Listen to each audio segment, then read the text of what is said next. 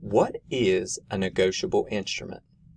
A negotiable instrument is a commercial document that meets the following requirements. One, it must be in writing, and that can be typed, it can be handwritten, it can be in any form of writing.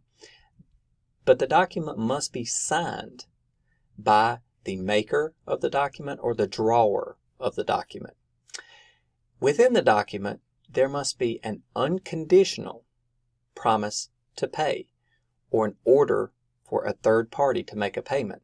Now, what does that mean? The unconditional portion means that the order to pay or the promise to pay cannot be conditioned upon some action or activity or some occurrence. For example, I could not condition the order to pay upon someone undertaking some activity other than simply presenting the instrument for payment. Okay, so an unconditional order for a third party to pay, such as where I hold a banking account or somebody who holds my money, I'm ordering for them to make a payment of this amount, or a promise that I, in the future, will make a payment. There must be a fixed amount of money, so there must be identified amount of currency within the instrument.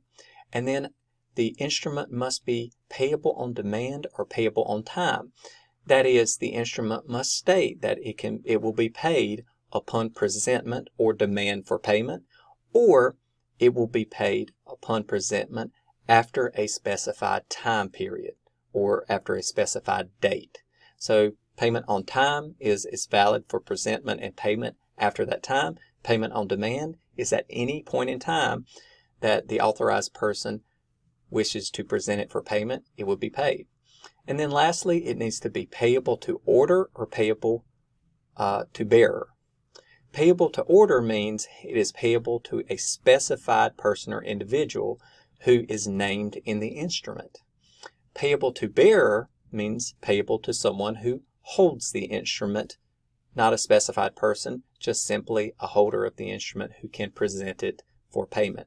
Now, if all of these factors are present, that commercial instrument is negotiable, really meaning that it can be easily traded, transferred, or negotiated to others under the law and it does not affect the legality or legal efficiency, effectiveness of the instrument.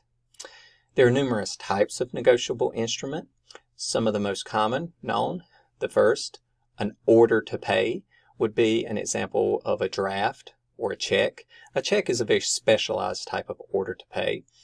Or a promise to pay, which is something like a promissory note, a certificate of deposit, or any form of IOU, once again, could be a promise to pay. So all of these fall within the categories of different types of negotiable instrument.